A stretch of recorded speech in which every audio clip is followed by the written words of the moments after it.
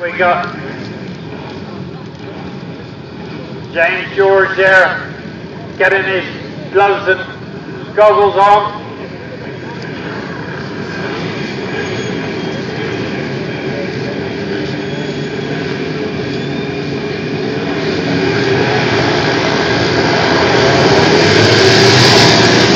Paul Morris anticipating the start there.